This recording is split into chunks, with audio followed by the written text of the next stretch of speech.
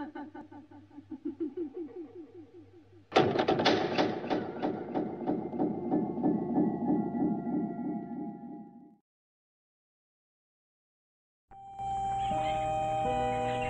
and I are scientists.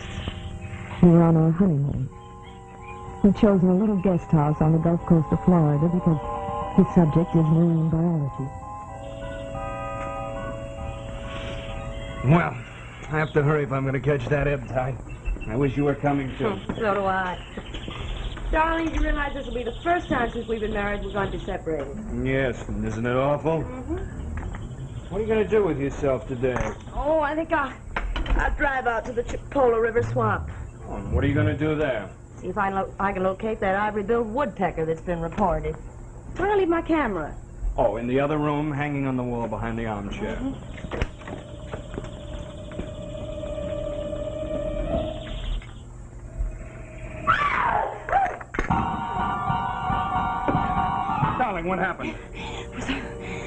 On the, on the strap of my camera. Here, wait here.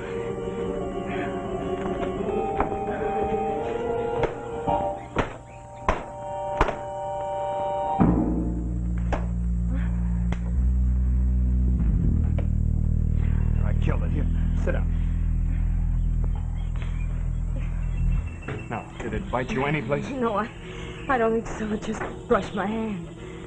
Oh. Well, there's no need to get so upset. Even if it had bitten you, it wouldn't have poisoned you. Now, surely you know that. I know that, darling. It all goes back to something that happened when I, when I was still at school. A boy slipped one down the back of my neck. I've had a phobia about it ever since. It just paralyzed me. You were anything but paralyzed. You know what I mean? They, they scare me to death. You want me to stay with you? No, darling, it's all forgotten. You run along and catch your tide.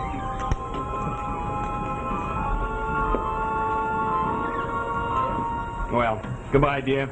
I'll see you for dinner.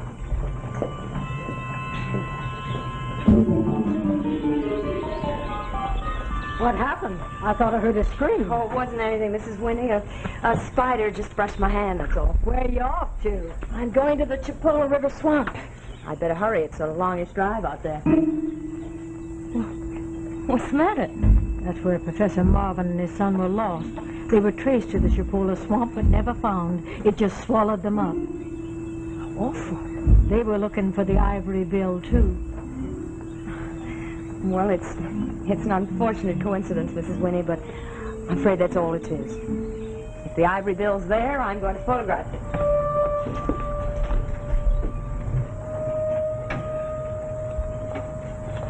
Don't ever lose sight of your car. Those trails look so much alike. Don't worry about me. I'll be back on time for dinner.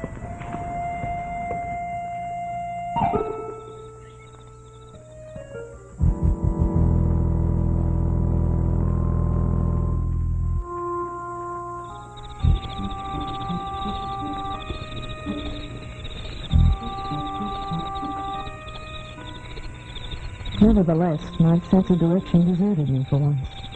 I suppose I was careless. I heard the bill calling, but it was always just a few yards ahead.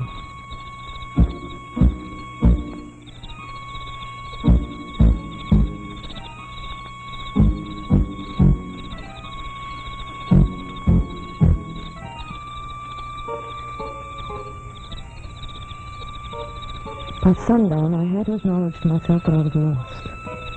I realized I'd been walking in circles for hours. By the time darkness had set in, I was utterly exhausted and a little scared.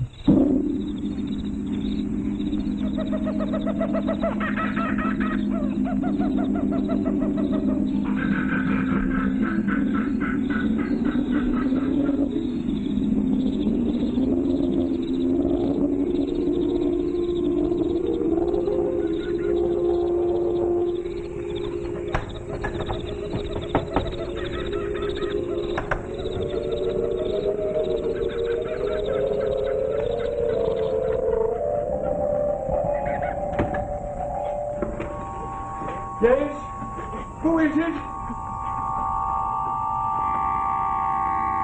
Oh, I'm, I'm so glad somebody's here. I, I'm, I'm Muriel Torrey, Mrs. Torrey. I'm, I'm afraid I'm hopelessly lost. Oh, please do come in. Thank you. Follow me.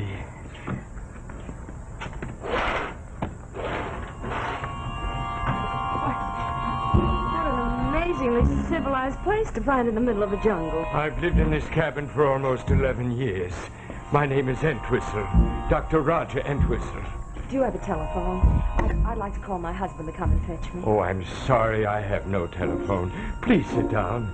I- I'll give you something to drink. Is there anything special that you'd like? Well, anything but welcome.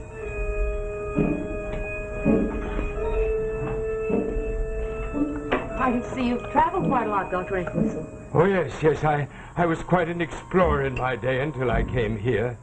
Specialized in tropical diseases. I'm a bit of an explorer myself. Matter of fact, that's what's got me into this predicament. I was after the ivory dome. Oh, that elusive Lorelei of the swamps. She's led her others astray. Yes, I, I heard just this morning about about a professor and his son who arrived there right in this very district and, and disappeared. I feel very fortunate to have found your cabin. I'm equally fortunate, Mrs. Torrey. Here, drink this. It'll make you feel better. Thank you. Aye, that's good. I don't know when I've enjoyed a drink more. Mrs. Torrey, I would like to see you, if you'll permit me. See me? I'm blind, Mrs. Torrey. Oh, And the only way I can tell how people look is if I can touch them. oh I, I'm terribly sorry. I, I didn't Oh, you're- realize. You're very beautiful, my dear. I can tell that much. Perfect bone structure. No lines. Tell me, Mrs. Torrey, what is the color of your hair? It's sort of reddish. My eyes are dark blue. Oh, that's perfect. Perfect. And, uh, your age? I'm 28. Oh, that's not quite so perfect.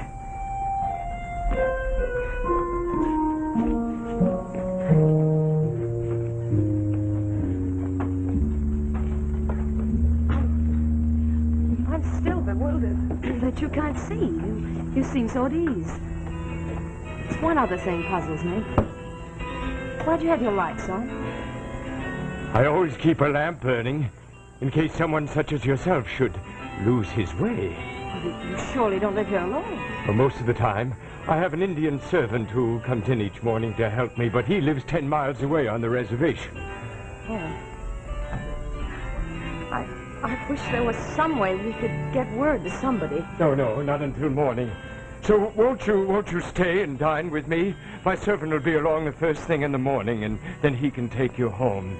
Meantime, you can stay the night as my guest. You have no idea what great pleasure that'll afford me.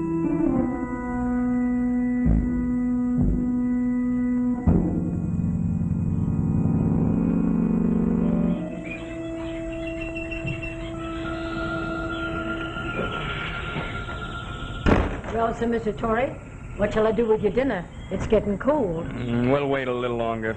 I must say you take this mighty calmly. If it was me, I'd be out of my wits. Well, my wife has no sense of time.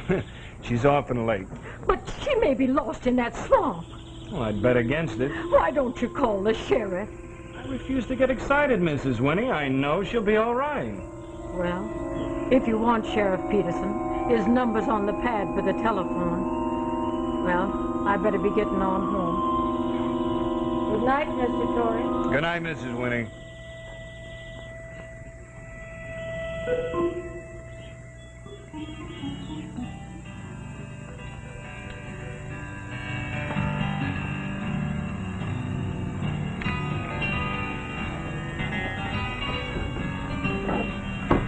Mrs. Torrey, I don't believe you've eaten very much. I'm, I'm terribly sorry. The, the food's heavenly, but I'm, I'm really disturbed about my husband. I, I wish there was some way to get word to him. Well, perhaps you'll feel easier if you'll permit me to offer you a dram of what I call my jungle special. It, it, it's a cordial. It, too, will give you a taste of heaven. Well, just a little. A little goes a very long way, my dear. Yeah. I'm quite sure you've never had anything like this before. Well, it, it smells a little peculiar. What is it? Oh, it's a secret poison I discovered in South America. It's very popular with the Peruvians. Aren't you going to have any? No, no, I haven't touched a thing ever since I was stricken with my affliction. It's awfully good. What's in it? Oh, it's a, a secret process. Now, now that you've finished, I'd like to show you my two most priceless treasures, Mrs. Torrey. They're in the room that you'll be occupying. Well, no, I, I don't If, think... if you don't mind, would you would you please precede me? It's through through that door. And then the, the door to the right.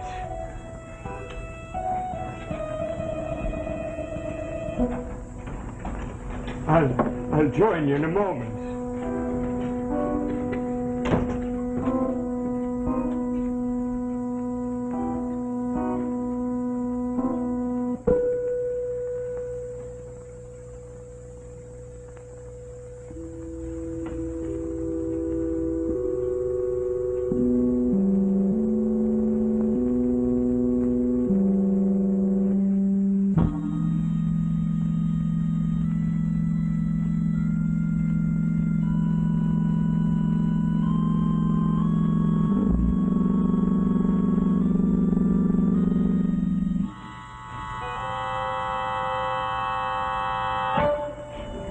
What are those things on the mantelpiece? Oh, you you found them, have you? Well, well, they're what I really wanted to show you. They're masks carved out of horror goods. Do do you admire my handiwork? You carved them? Oh yes, yes. They they they were part of the things that I discovered in in, in South America. I I was a captive for five years. They're examples of the art of the Jivaro Indians. The Jivaro Indians, what?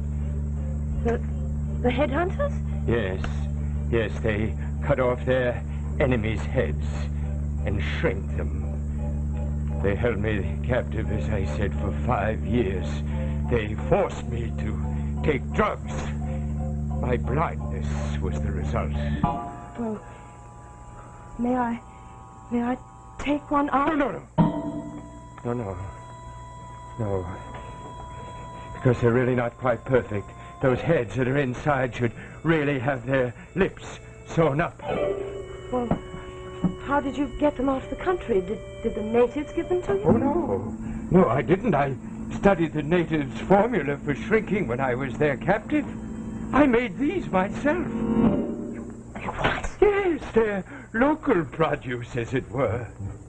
You see, I always wanted to have a complete family. And so you see, now I have a father, and I have a son. But to make the family complete, there should be a mother.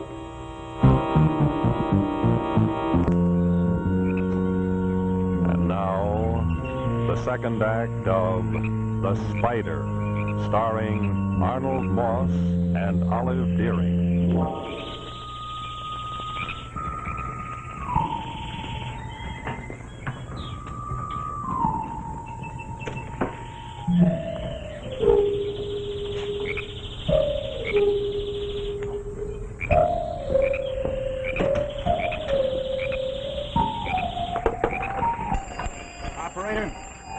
Sheriff Peterson's office.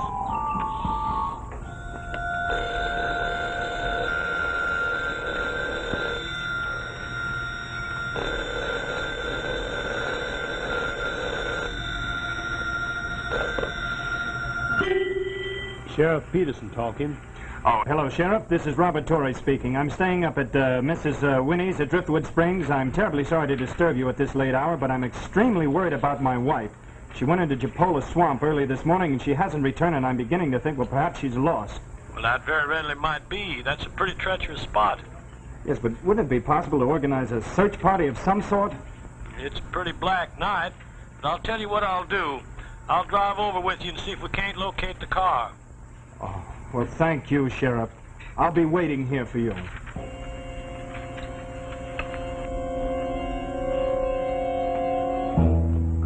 Strictly speaking, you should be a little older, my dear. The young son was nearly 15 years old, but a collector has to take what the gods offer. How, how how did you get the natives to give you the secret formula? I didn't.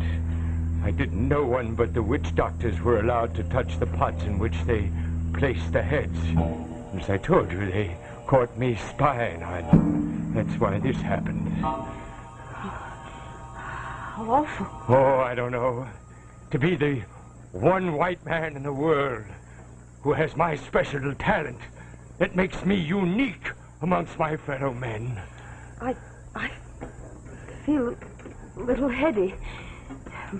Must, must be that liqueur. But the process is, is really quite simple. It's something like trepanning in, in modern surgery.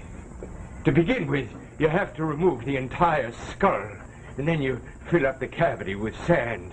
Then you have to sew up the scalp. I see. Young Marvin here was my first effort. Took half the time of his father. Yes, yes.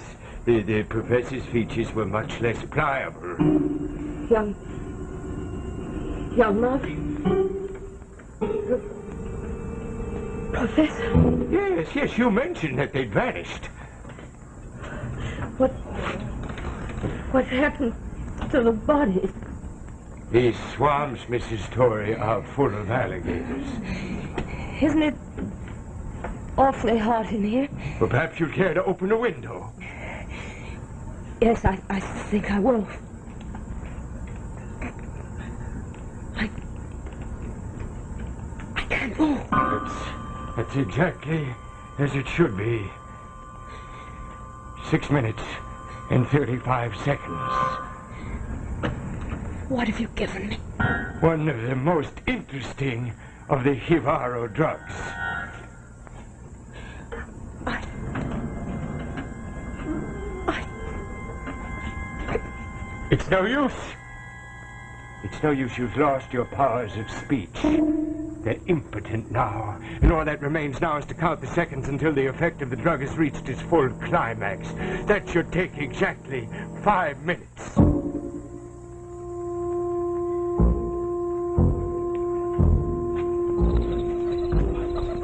Look, Sheriff, the dog's picked up the scent again. Yeah, lead this way. Look here. Moss is all trampled down. I reckon she sat on this log the rest of night. Probably is mighty tired, too. I figure it's five miles back to where we left that car. Well, let's get going. Oh, the dog seems to want to go that way.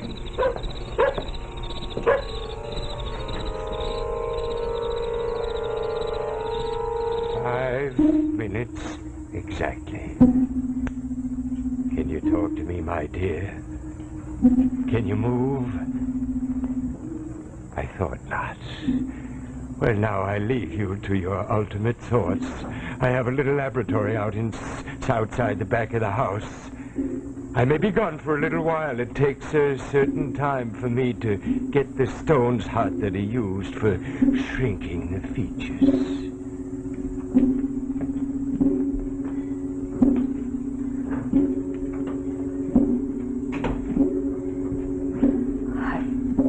I've got to do something. I've got to think of something.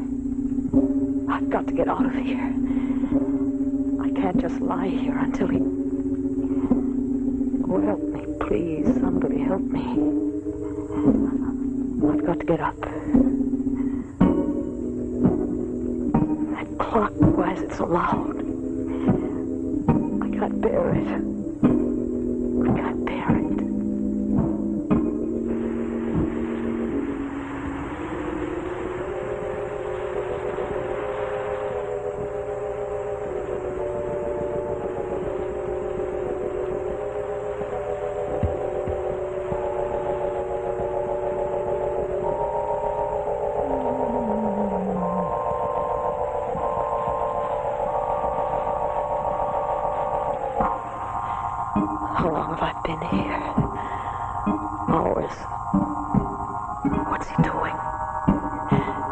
Than he never comes back. I must keep awake. I mustn't go to sleep. Anything not to go to sleep. I must keep my eyes moving, looking. What's that? Dust. Cobwebs. No.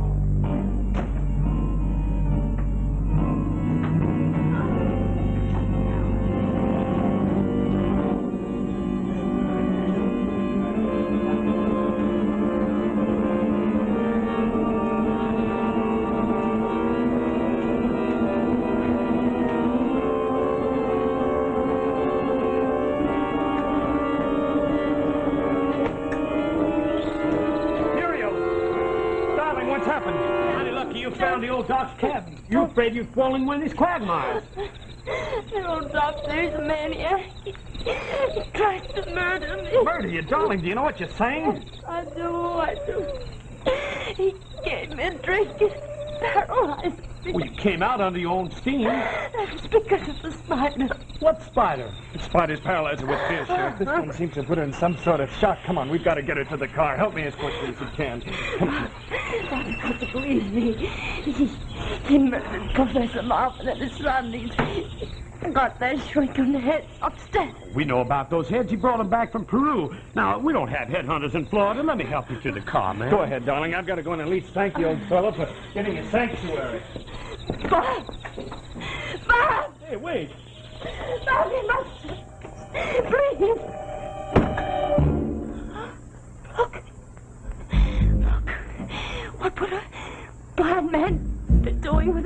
With the two pairs of binoculars? Chandler Marvin. Chandler Marvin Jr. How do you believe me? You say he's out in his shack? Well, I'll go get him.